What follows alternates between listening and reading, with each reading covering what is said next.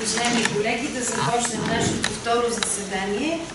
Имам удоволствието да дам думата на нашата гостенка от Москва, Марина Крутова, която ще прочете доклад на тема Названия и самоназвания в номинативния комплекс от славянски ръкописни книги период 11-17 век върху материал от ръкописния отдел на Руската държавна библиотека. Заповядайте. Спасибо, уважаемые коллеги. Прежде всего хотелось бы поблагодарить участников конференции за возможность обсудить проблемы именования здесь. Благодарю искренне Анисаву Мелксенову и дирекцию Института литературы за предоставленную возможность, а также всех коллег, чьи доклады удивительно важны для нас и ну, конечно, это большая, большое как бы, такое ну, преимущество участвовать в такой конференции и послушать, ну, послушать доклады, в которых рассказывают коллеги о своих наблюдениях. И вот, в частности, я хотела представить доклад, тему его, тема его объявлена, но хочу уточнить, что границы, э, хронологические границы несколько изменены, это 14 19 век, и не на всем собрании, а, не на всех фондах Российской библиотеки сделаны выводы, а на собрании рукописных книг Троицы Сергиевой а, Лавры. В своем докладе я остановлюсь на следующих положениях. Прежде всего уточню терминологические понятия именования рукописных книг, а в дальнейшем рассмотрю соотношение названий и самоназваний а, в рукописном комплексе рукописных книг. Итак, проблема именования явлений в течение многих веков находится в центре внимания философов, богословов, лингвистов – литературоведов, текстологов.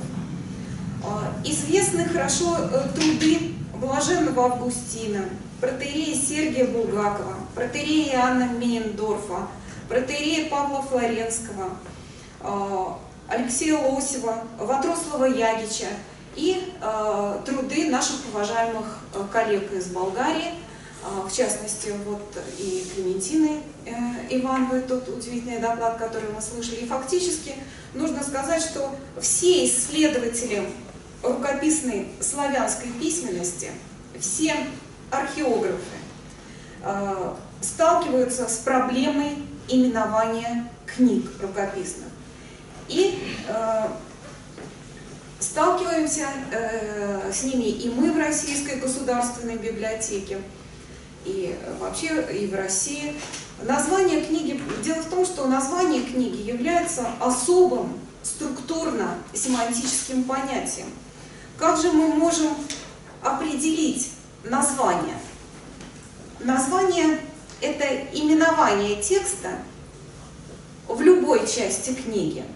Перед текстом, над текстом, в тексте, после текста – во владельческой или песцовой записи, в колонтитуле, глоссе и так далее. Оно э, может быть сделано от лица владельца, заказчика, вкладчика и так далее. Заглавие – это абсолютно начальная часть рукописного текста, которая, как правило, выделена графически. В нем заложена часто более пространная информация, чем в названии, хотя это не абсолютно так. И оно э, может даваться э, рукописному э, тексту, э, чаще всего автором. Под автором мы понимаем и того э, человека, который создал произведение, и э, редактора в ряде случаев. Э, и вот Такие части текста и называют часто самоназванием. И еще понятие номинативный комплекс. В рукописной книге имеются названия, которые могут располагаться как на внешней стороне книги, на крышках, на корешке переплета, на обрезе, на оборотах э, крышек переплета э, или внутри книги, э, извините, на обороте крышек переплета э, в таком случае, на защитных листах, э, в оглавлении, в заглавии, в предисловии, на полях рукописи, в послесловии, в владельческих и песцовых надписях. Э, но рукописная книга может быть именована не только в книге, но и вне ее, в археографических описаниях, научной литературе и так далее. Все эти названия и составляют номинативный комплекс, позволяющий всесторонне рассмотреть процесс обозначения текста книги в целом как явление в истории русской словесности. А, ну, мной изложено вот, э, понятие, э, вот эти терминологические понятия, они обозначены в этой книге, которая вышла в Москве в 2010 году. И э, хотя с течением времени удалось уточнить некоторые термины. Мой доклад будет сделан на основании анализа названий в собрании Ризницы э, Свято-Троицкой Сергиевой Лавры. И ознакомиться с этими рукописями, э, чтобы мои э, как бы, положения не были голословными, можно на сайте, вот адрес сайта указан. И я думаю, что все вы активно пользуетесь этим сайтом. Дело в том, что вот Владыка Феогност, э, настоятель Свято-Троицкой Сергиевой Лавры э, и его э, иноки заключили договор со, с Российской государственной библиотекой о возможности цифровки книг, и не так давно было выставлено и оцифрованное собрание уникальных рукописных книг Троицы, Троицы Сергиевой Лавры. И вот э, был запущен проект собрания уникальных рукописных книг из Древней Ризницы, Свято-Троицкой Сергиевой Лавры. И владыка Феогност в 2015 году обратился в библиотеку с, пред, э, с тем, чтобы предоставили новое описание Ризницы Свято-Троицкой Сергиевой Лавры. Э, поскольку э, описанием, э, этим новым описанием занималась именно я, Поэтому я сочла возможным и проанализировать э, название и самоназвание книг именно э, в этом собрании. Дело в том, что такая, ну, это дает возможность проанализировать книги в описи так, такими, какие они есть. То есть безотносительно к жанру. А вот э, коллеги сегодня сделали прекрасные доклады о э, названиях и самоназваниях в географических текстах, а, в э, сборниках календарного, триодного типа. Но это вот, так сказать, название по жанру. А как дело обстоит в описях, то есть то, с чем мы реально имеем дело, это дает возможность говорить об именовании э, книг разного жанра. Э, сейчас я вам раздам такие есть. Да, будьте добры. Только я здесь два варианта у меня есть. Э, варианты соотношения названий и самоназвания рукописных книг в собраниях Ризницы Свято-Троицкой Сергиевой Лавры. Под номером один в собрании Ризницы находится Евангелие Симеона Бордова. И что мы э, видим э, в рукописной книге, э, что здесь есть и само название в тексте самой книги, когда мы говорим о главах, которые там находятся, и предисловиях, и фрагментах текста. То есть там э, текст именуется как Евангелие. А где появляется э, название Евангелия Семена Гордова. Э, оно появляется вне книги, и э, вот это название дается исследователями и археографами э, по имени заказчика книги. Э, а заказчиком книги был э, Симеон Гордый, и его имя мы встречаем в гравированной надписи на окладе.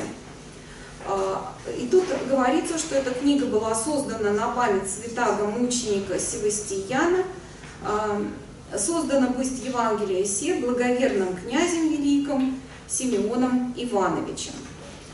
Ну, вы видите, что те, кто видит мою распечатку, что я перенесла из самоназвания вот эту вот э, часть, перенесла, в, в, в, э, собственно говоря, в часть названия. Почему? Потому что ну, здесь вот проблема возникла, эм, что считать названием, что считать самоназванием.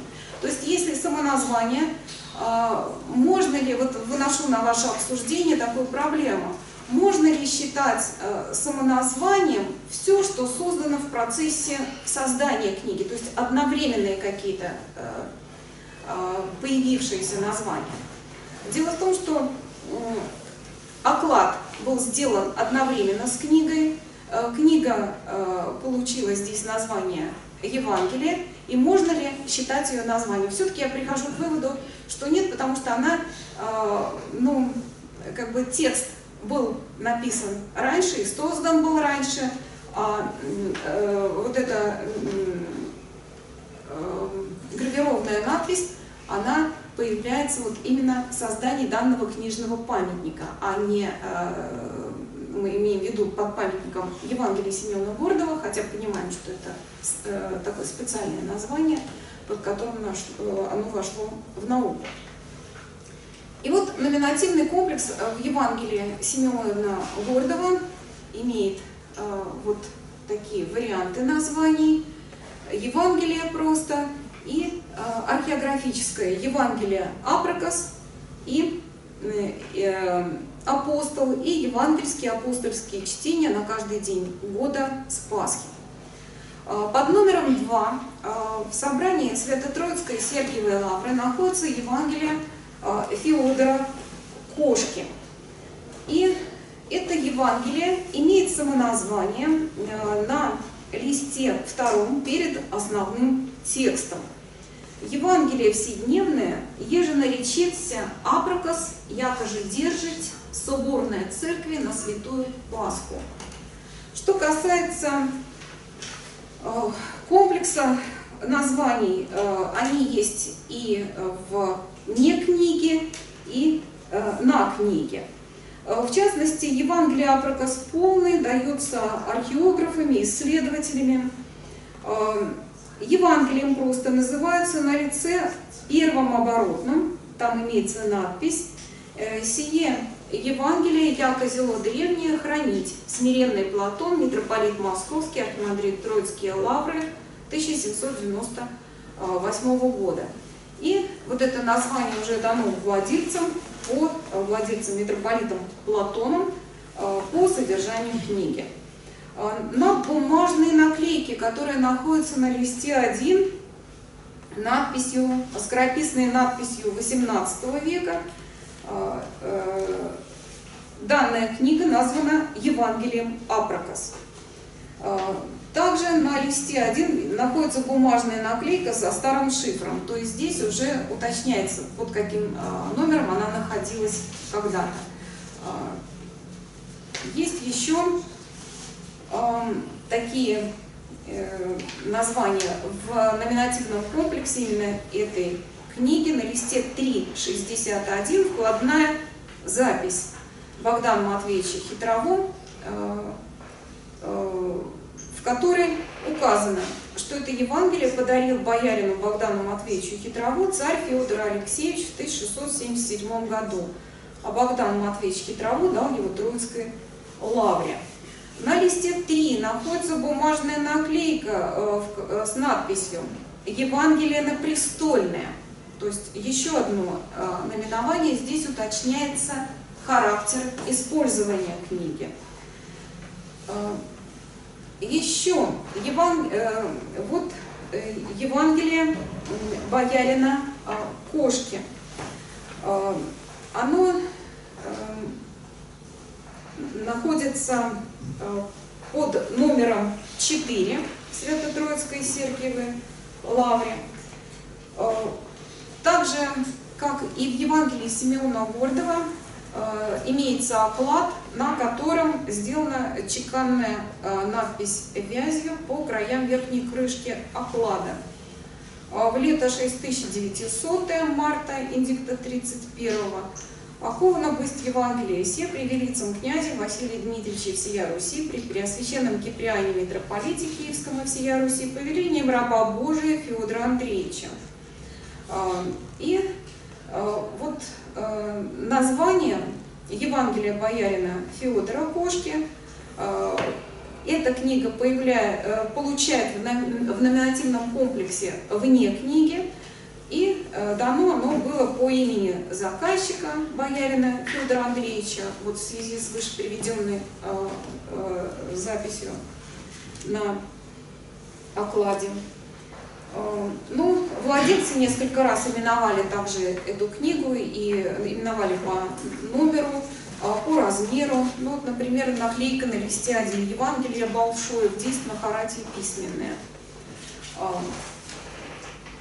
также в собрании Свято-Троицкой Сергиевой Лавры под номером 30 находится Евангелие боярина Никиты Ивановича Романова. Это название также Евангелие получило по имени своего вкладчика, боярина Никиты Ивановича Романова. Евангелие старопечатное, но с рукописной правкой, поэтому его включили вот в это собрание. Надо сказать, что по какому принципу включали в собрание резницы книги. Включали, исходя из древности книги, из э, высокого положения владельца и драгоценности самой книги. Ну вот эта книга, она очень богато украшена. И э, надо сказать, что часть книг, три книги э, под номером 29, 30 и 31 были присоединены к собранию в 2012 году э, по решению методической комиссии нашей. Они были найдены в так называемой россыпи и имели э, признаки фондовой принадлежности именно Ризницы Свято-Троицкой Сергиевой Лавры, почему и были включены туда. Ну, собственно говоря, это тоже еще одно из обстоятельств, которое требовало создания э, новой описи. Э, также в собрании Свято-Троицкой э, в Ризнице, в Ризнице находится служебник, или еще он известен как служебник преподобного Никона Радонежского. Ну, варианты названий служебник Никона, Никоновский служебник, служебник.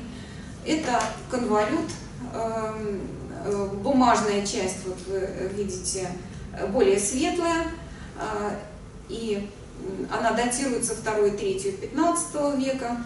Ну и пергаменная часть датирована была еще архимандритом а, Леонидом Кавелиным а, по Ектинье в литургии Иоанна Златоустова, который входит в этот служебник датирована в 1381-1382 году. Эта книга также имеет целый комплекс названий. Э, ну, само название в этой книге нет, может быть, в связи с тем, что самый первый лист отсутствует, и вот об этом, э, вот об отсутствии листов рукописи вот уже сегодня и Клементина Иванова говорила, э, такое имеет место быть. И поэтому здесь только в номинативном комплексе присутствуют только э, вот эти названия, как мы говорим, вне книги и находящиеся на книге. Ну, вот, в частности, на листе 1 находится владельческая надпись э, «Служебник Никона Чудотворца Никон». Вот она здесь воспроизведена на этом слайде.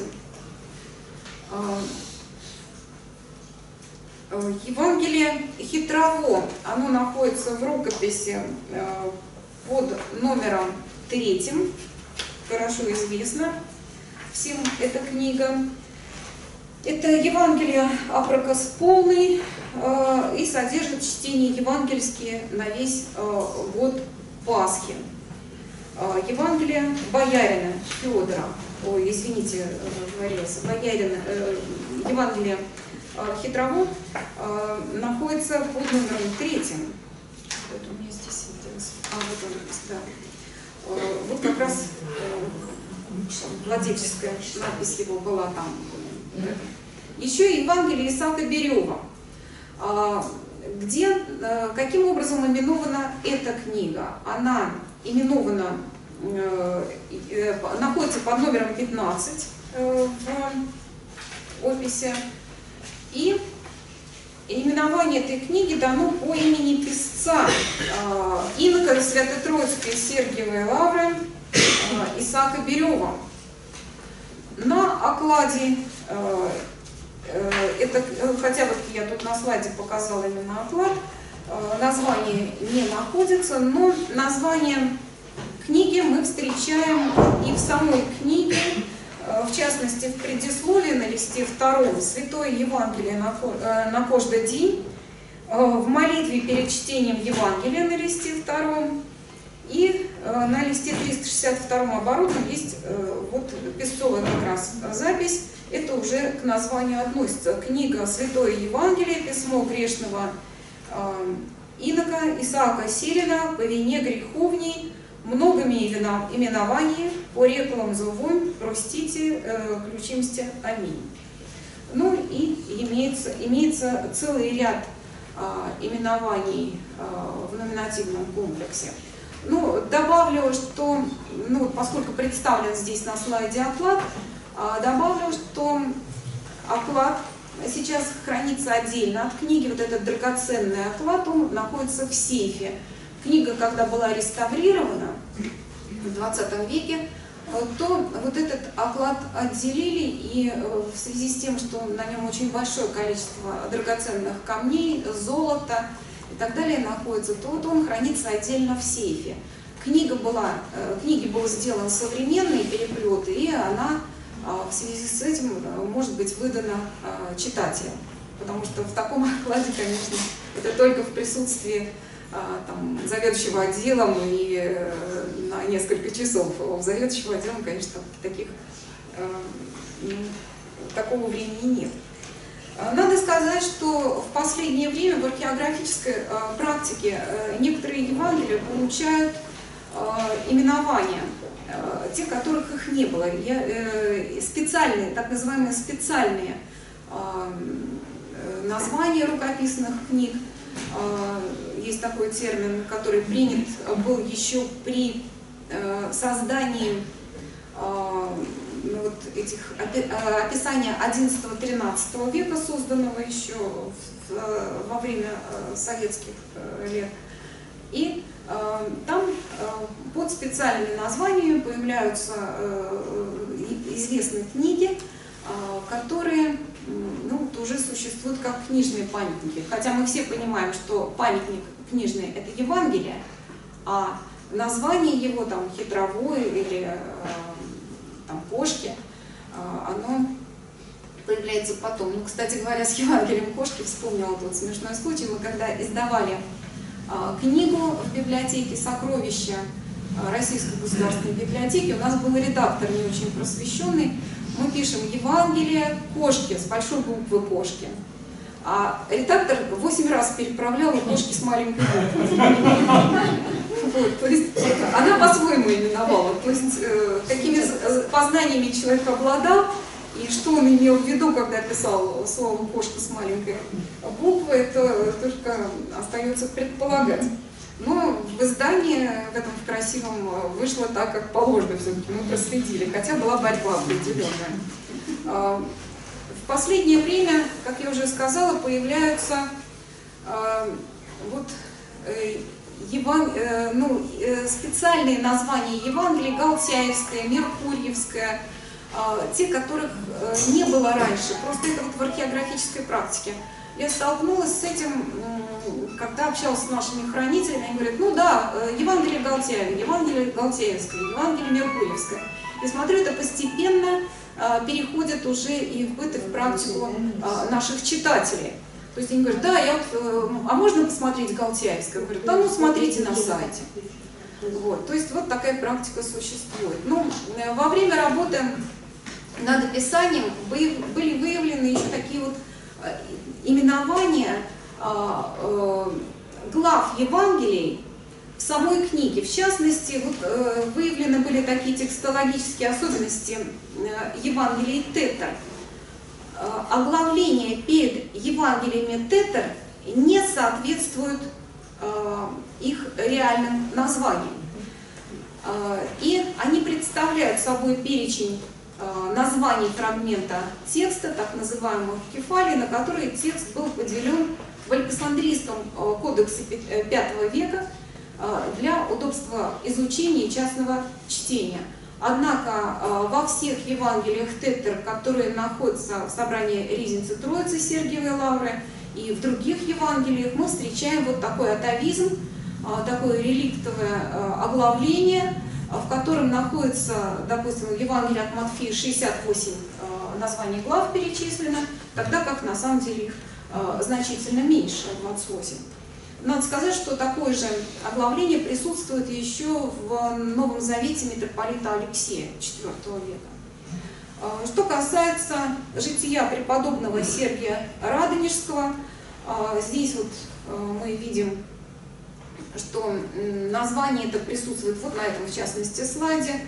Оно присутствует в заставке и э, в, ну, дано такое вот название в самой книге, на наклейке оно присутствует, присутствует во, всевозможном, во всевозможных вариантах владельческих надписей.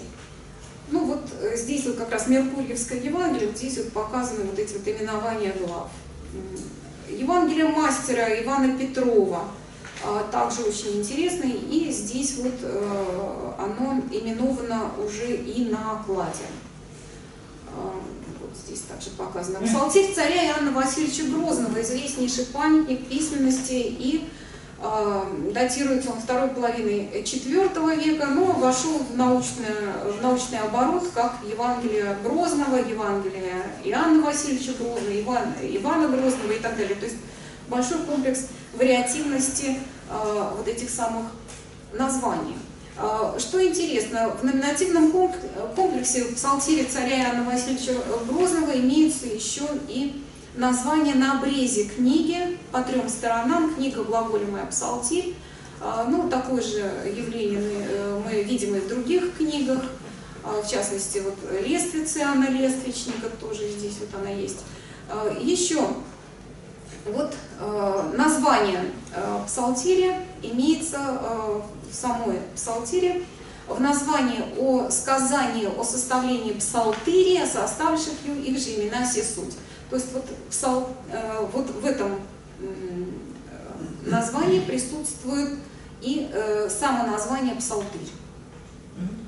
Интересно, что вот когда я описывала это, э, эту псалтирь, то выяснил очень интересное явление. Дело в том, что вот в названии, при названии псалмов в этой книге имеются интересные маргиналии.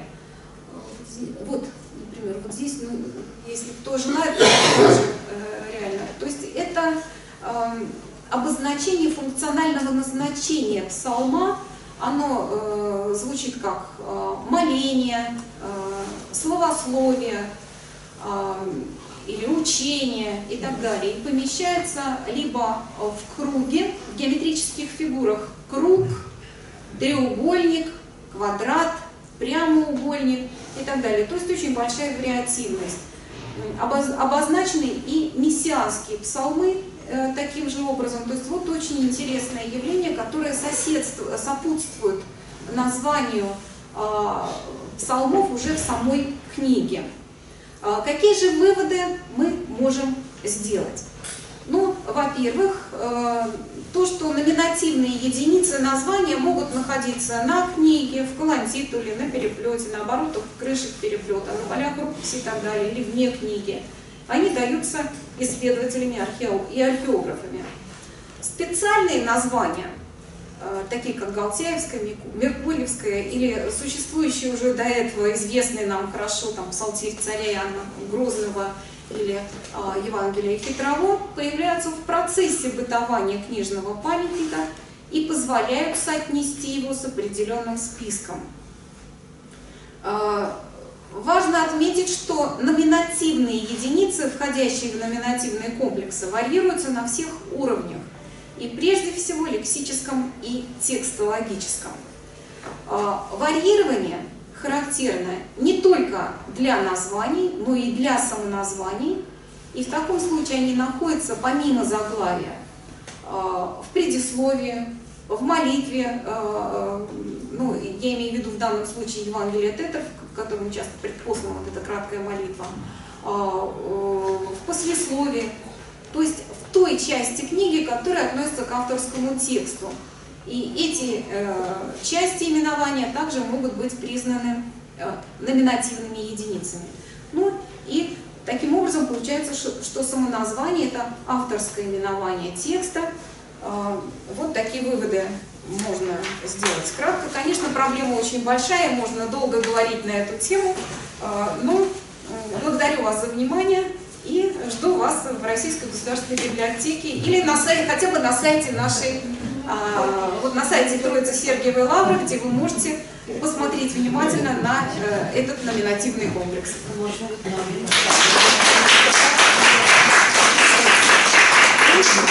Спасибо. Минаваме към втория доклад, предвиден за това. Имам удоволствието да дам думата на Мери Арон Джонсън от изследователската химнотарска библиотека с доклад на тема описание на славянските текстове в неславянска среда. Thank you.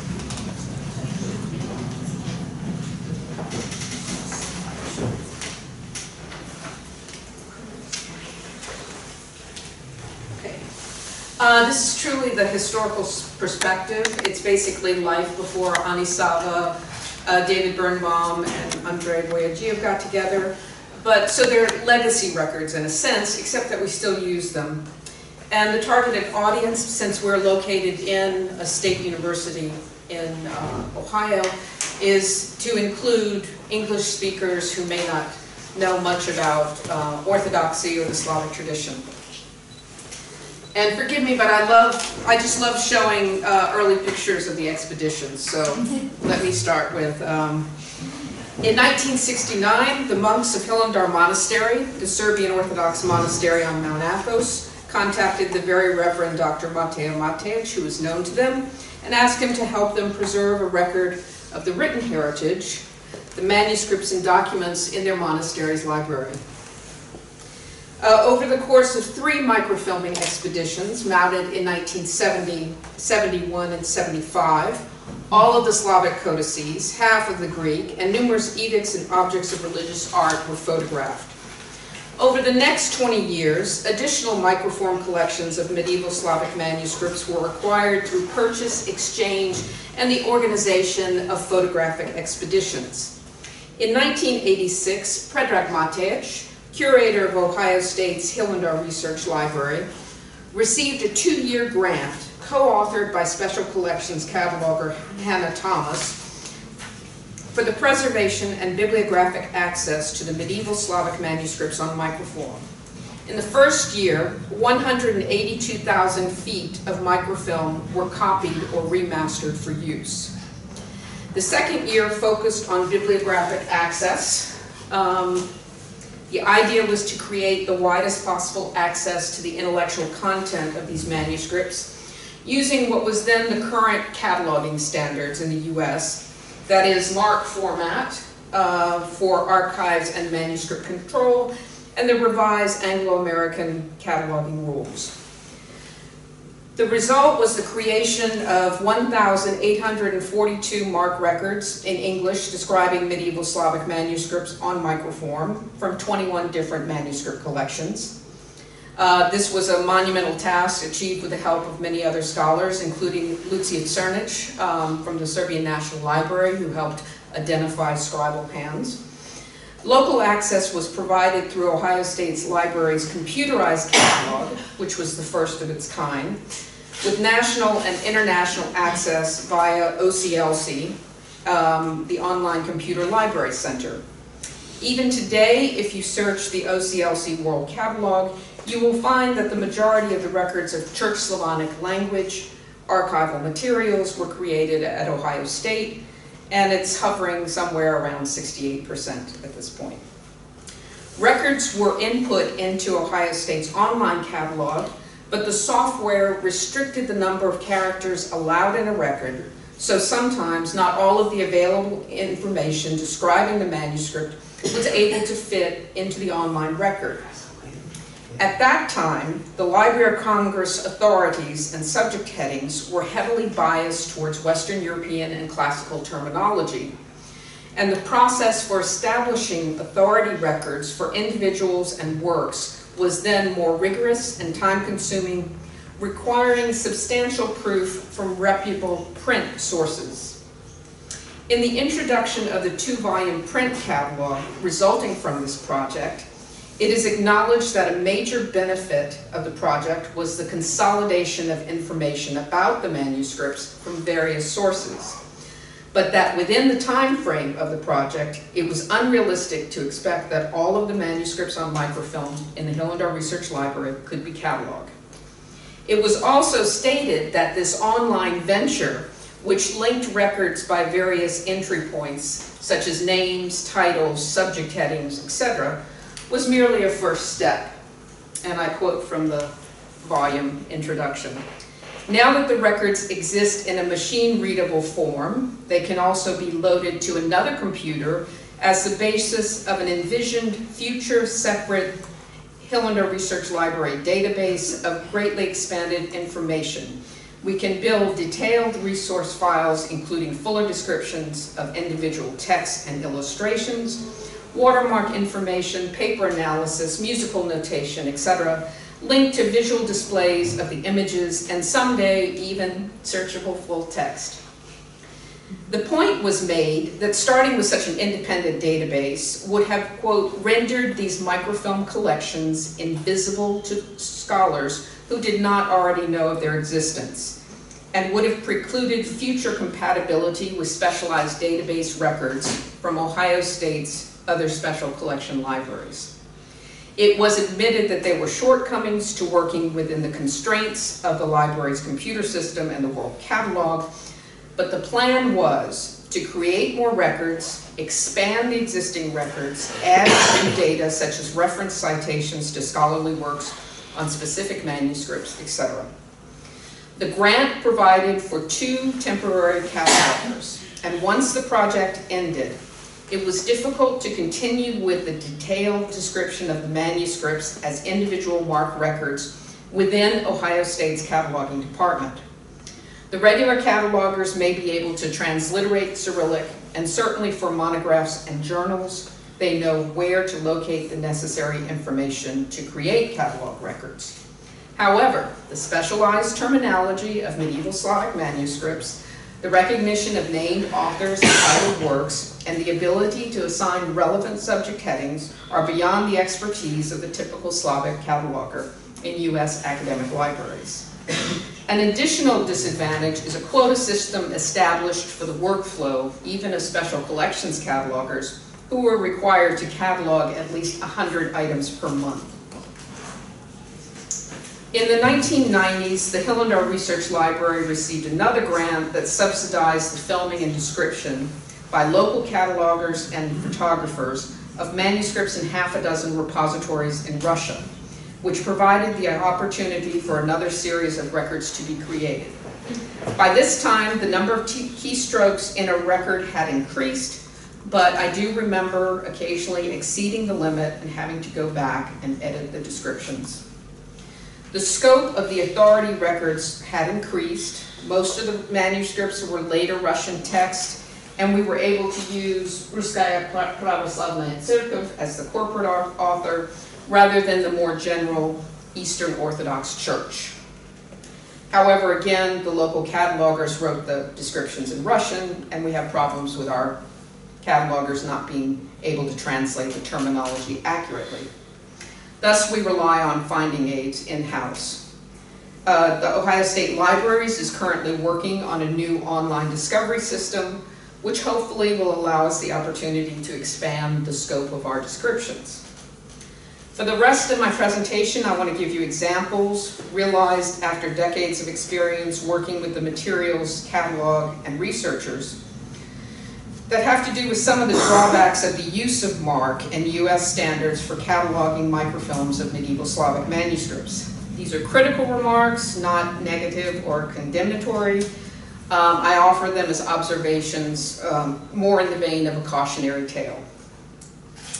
The descriptions of the manuscripts that were entered into the online catalog records were taken from pre-existing print catalogs of the various collections. There was no point in reinventing the wheel. But this led to an unevenness overall in the records and differences in the terminology for describing, in particular, manuscript genres and language. This also meant that discrepancies in the printed sources were often transferred to the online catalog. As in any venture, there was an element of human error in translating the descriptions, data entry, etc., and we still find mistakes in the records. Shelf marks for the manuscripts were taken from the primary print source used to describe the collection. For example, the Zograf manuscripts on microfilm were numbered according to Christo Kodov, since the project predated the catalog by Božidar Rajkov et alia. The microfilms of the Zograf manuscripts that Kodov did not describe remain uncatalogued.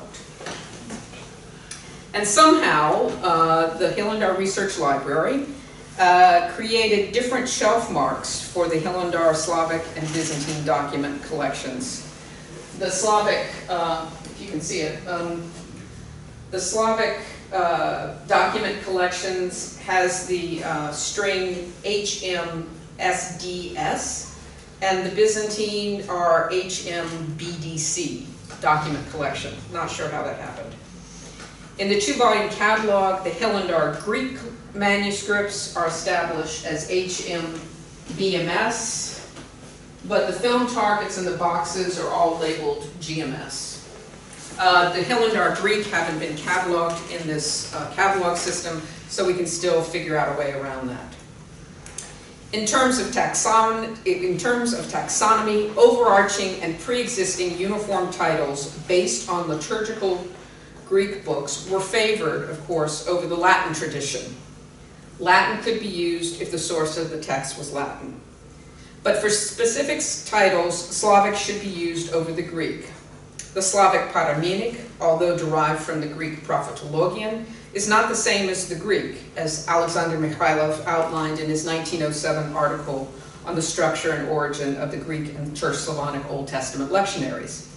As with many genres and texts, the Slavic tradition was selective in what it borrowed from the Greek. Here are some of the examples from the Zograf manuscripts we have on microfilm. The uniform title is in Greek, Tetraevangelion, Psalterion, Prax Apostolos. Um, note that Radimir Psalter, the second one, is a number Zograf 1, uh, according to Kodov. Um, there are, in the MARC cataloging system, a general note is a number 500, and we indicate the source of the title. So the first one says the title is actually from the work and gives the leaf number. Um, the other, the second one just says title supplied. Uh, this is another in inconsistency with trying to do so many things at once. Um, there was a, um, a, a manual that was available to the two catalogs but other titles, other um, records will say not just title supplied, but title supplied by cataloger.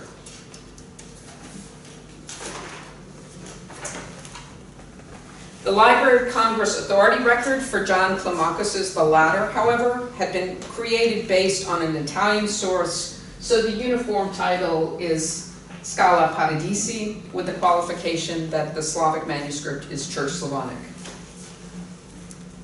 The subject headings of breviaries and missals, each with a subheading classification of texts, were added to the uniform titles of Euchologia and Liturgica respectively as a clarification for those unfamiliar with the Greek tradition.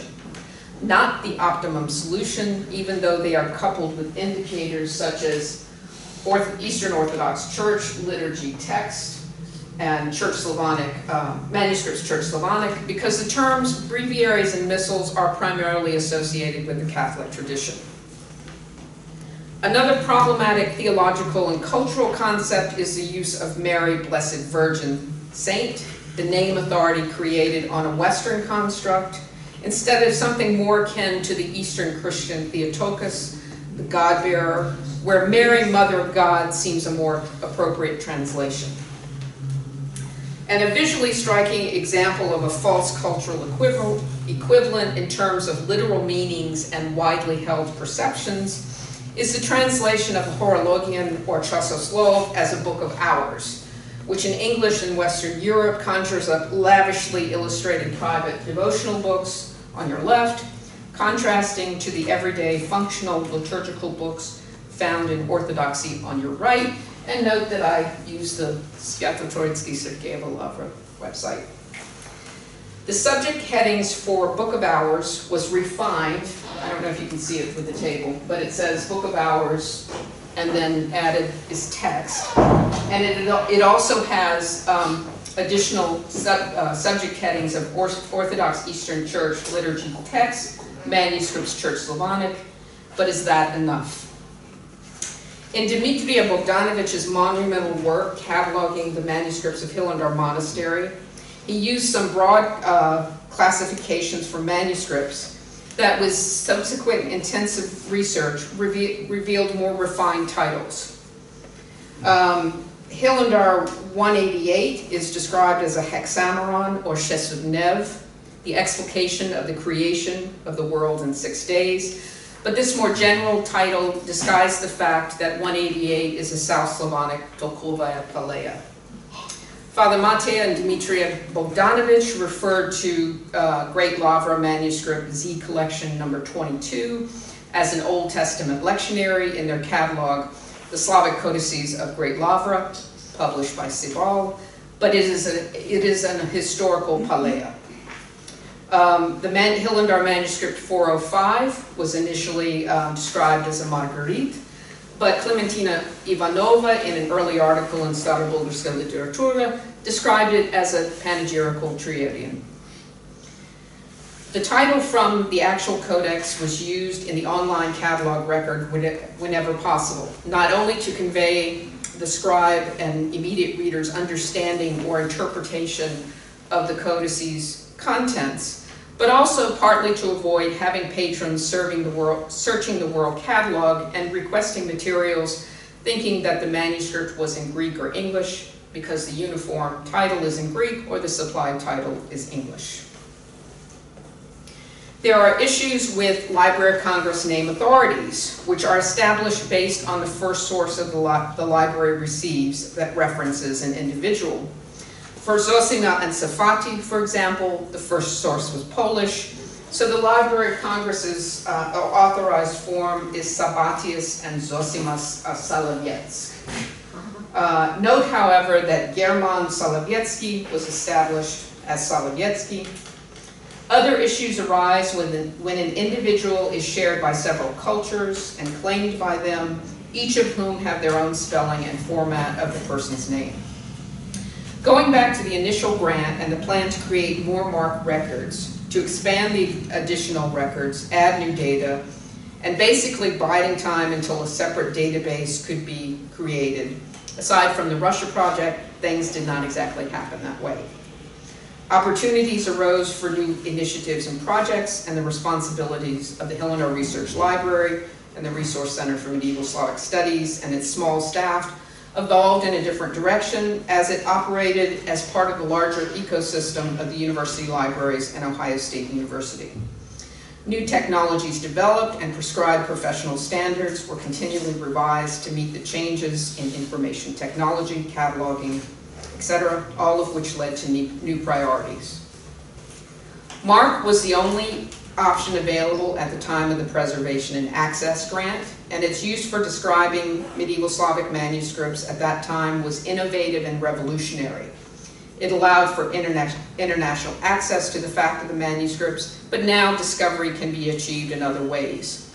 The use of the Library of Congress established authorities for names and subjects was insufficient and inaccurate from the beginning, but authority records can now be cited from VIAF, Virtual Authority File, and established based on Wikipedia pages.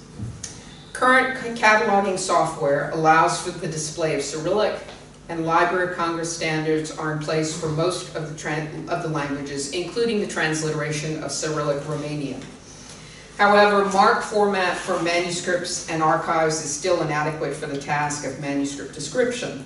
Most of the specialized data, the codicology of the manuscripts, binding inscriptions, watermarks, paleography, ornamentation, are all located in that generic 500 note field, which does not allow for targeted searching. Uh, this summer, we had our ninth Medieval Slavic Summer Institute, which is designed to introduce um, graduate students in North American and Western European universities to paleography codicology. And I gave my lecture on genres. I was at the head of the table, and I was surrounded by a stack of books that included Nikolsky, um, Starobulgarskata Encyclopedichen Rechnik, both volumes, uh, Slovar Knjižnikov, Metodические рекомендации, uh, Примири из старой српской книжевности, речник на старата-македонска литература, uh, Schmidt's, my favorite, Spodni catalogs, uh, Slavjano-Ruski Gurukopisny Knig, um, even uh, Biegunov, uh, Bielchikov, and Rozjesvinsky. And I was sharing all of these resources with the students, and they said, why can't you just give us a list of the names of all the terms in all the different languages? And I, I punted, to use a, uh, a sports term. I said, I want you to know the history of this research, and I want you to know all the work that's been done. And I'm hoping now, in, for the, by the time we have the next Summer Institute, that I can just give them a, you know, a website address. Thank you very much.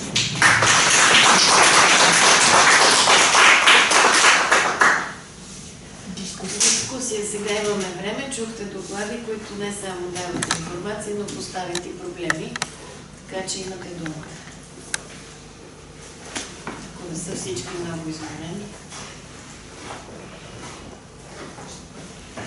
Жана Левшина.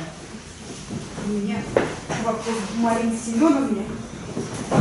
Я, честно говоря, не очень поняла, в чем видите проблема при именовании Евангелия вообще. Потому что, э, э, ну, само название, название это понятно, именование каталога это совершенно другая вещь, но при этом никаких вариантов, выходящих за пределы Евангелия, просто нет. Я имею в виду при именовании название, название, научное название, в любом случае э, Евангелие, это во-первых. Поэтому я не вижу именно проблем. Э, это первое. Второе, э, вы сказали, что самое название – это авторское именование. То есть, э, я полагаю, что само название для слова Иоанн Златоуст – это тот, кто именовал слово Иоанн Златоуст. Нет? Или как? Тогда нужно ну, будет точно формулировка этого определения. И третье, что я поняла, что у нас с вами разное понимание о том, что такое память. Э, потому что Евангелие для меня не память. Евангелие для меня это тип книги. Э, это в том смысле, что это больше уход в сторону типологии и жанра. А вот Евангелие кошка, Евангелие Петровой и так далее, это память который выделен как раз за счет специального названия из книг, э, из книг одного типа. Если можно, Ну, могу прокомментировать, начну с последнего. А, Дело в том, что э, в данном случае, когда я говорила, что Евангелие это, а, является книгой, а, ну, можно ли назвать э, Евангелие разной память? Дело в том, что э, в данном случае я а, исхожу из определения Лидии Петровны Жуковской, которая в своей э, текстологии, э, знаменитой книге «Текстология языка» э, э, текстологии язык рукописных книг, она как раз э, рассуждает о том, что можно ли назвать э, Астромирова Евангелие книжным памятником. И говорит, что да, мы понимаем, что книжный памятник это Евангелие, а в данном конкретном случае Астромирова Евангелие это только название определенного списка. Но учитывая авторитет данной книги, а, мы а, можем назвать его все-таки книжным памятником. Вот. Дальше, что касается проблем именования а, Евангелия. Собственно говоря, я тоже проблем не вижу в именовании Евангелия. Другое дело, что я о чем говорила? О номинативном комплексе, в том числе и Евангелия. Вот. И, собственно говоря, именование э, может быть как э, на книге, так и вне книги. То есть мне хотелось рассмотреть э, все возможные именования той или иной книги и э, посмотреть, как они соотносятся, название и самоназвание, вот этот самый комплекс. Если мы говорим об оглавлении, то, собственно говоря, ну вот я и сказала, что может быть, это вот как раз на ваше обсуждение, что считать самоназванием. Мне и хотелось обсудить этот вопрос. Э, Можно ли считать самоназванием и те названия, которые э, добавили редакторы в процессе существования М? Ну, как сказать, если это, если это новая редакция, например, Если редактор опять смотря, что такое но это другой вопрос, это вопрос как раз терминологии. И я считаю, что он достаточно важен, потому что накопилось большое количество проблем, и их надо обсуждать в данном случае. Ну, В данном случае как раз не ошибется. То, что касается описания сборников, то там действительно такая проблема существует. А в отношении Евангелия такой... Ну, а, э, скажем, вот в оглавлениях Евангелий, оно же не именует все Евангелием, А, но кто дал эти оглавления? Понимаете, проблема-то есть. Кто дал эти оглавления? Кого считать автором оглавления в данном случае, да? Или считать, а, то или мы мы рассуждаем только о тексте, или мы рассуждаем о том, что сопровождает. Это проблема.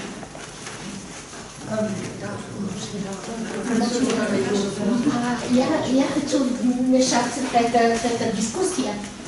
Значит в книжном виде, конечно,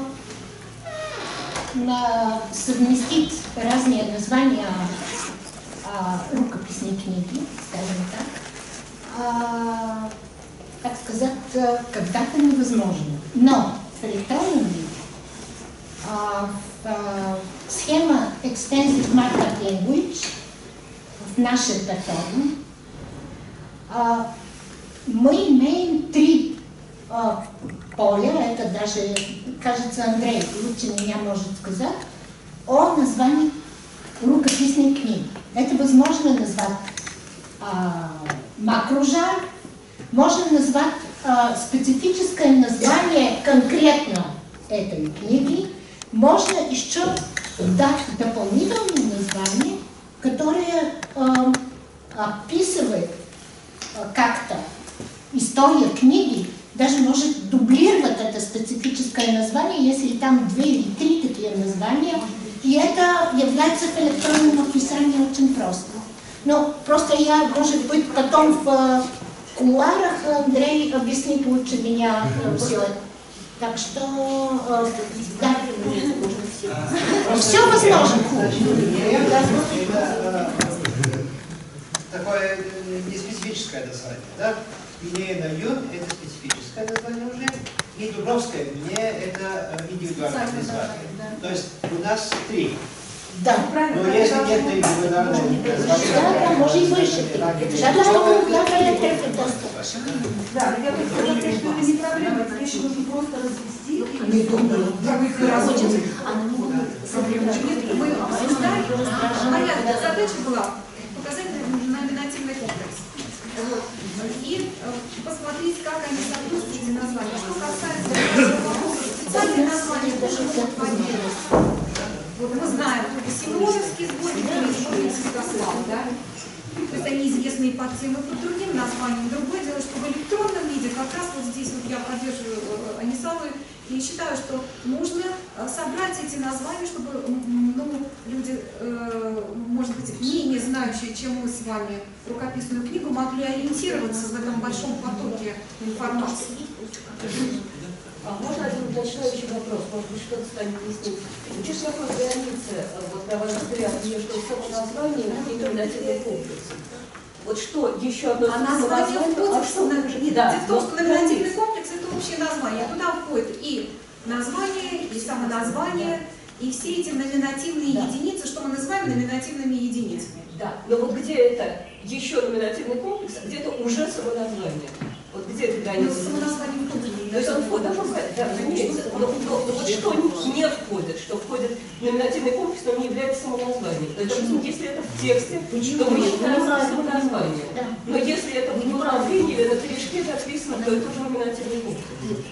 Номинативный комплекс, он включает в весь комплекс названий и названий, и самоназваний. То есть все, что относится к названию данной книги конкретной, это является номинативным комплексом, он там комплекс. Соответственно, там выделяются какие-то номинативные единицы. Вот. И они входят как составная часть. Да, но если это терминология, то должно быть точно. Ну, надеюсь. Елена Коцева. Заповядайте, доцент Елена Коцева. Набърквам се в едицията, в изданието на, както би се изявил Константин Костенички, на Евангелието, защото и Остромировото Евангелие и някои други руски ръкописи репродуцират загубени образци, които се вписват в гръцката традиция, в византийската традиция, в паметници, които са датирани, колкото са останали, между 4-то и 9-то столетие. Добре е в такъв случай да се погледне Ватикано Греко 354-353, които дават представа за подреждането на евангелски текст след иконоклазма. Това са много важни моменти, а, които при едно историческо мислене на въпроса за книгата, а каква е тя моя? Това са богослужебни текстове. И нищо повече извън това не са. И който ги разглежда като хвърчачки текстове, защото някой превежда или някой преписва, просто м, бяга от действителността. Това са богослужебни текстове. Има определени условия, има определен ценен смол. Евангелието се преписва от грамотни хора. Погледнете Гархаузен, Деврес и е, гръцката византология, такава каквато е. Крайна сметка по отношение и оценките, които дава по отношение на ръкописа. Не на последно място.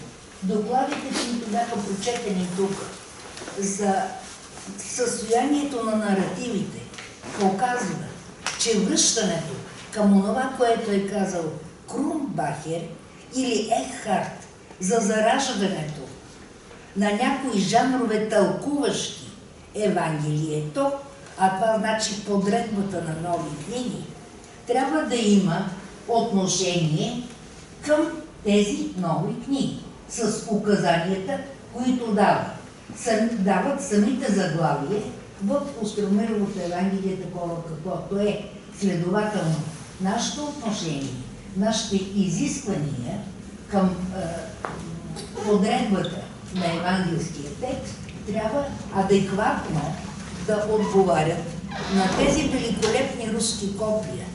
А те са фантастични. Те са повече от отпечатъци. Да, това са калки. Фантастични калки. Археологически находки, които нямат цена. За славянската и за византийската традиция.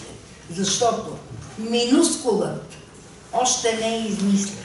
Форматирането, което виждаме в Остромирово Евангелие, не е още достатъчно обмислено. Прехода от г- г- маюско, извинявайте, към. Славянското кирилско писмо, което от своето начало до своя край Елена, нека е утре да разсъждаваме за палеография. Вписва се, момент свършва, е а, конгруентно вписва се в онова, което ни предлага ранната кирилица. Аз много моля да не ме прекъсвате, имам предвид времето. А, Обаче това са страшно важни неща. Това са млади хора, Да. които така или иначе не могат да... Нека утре да отложим тази дискусия за палеографията. Абе, Просто виж, закъсняхме много повече. да благодаря, обаче Да. Закъсняхме повече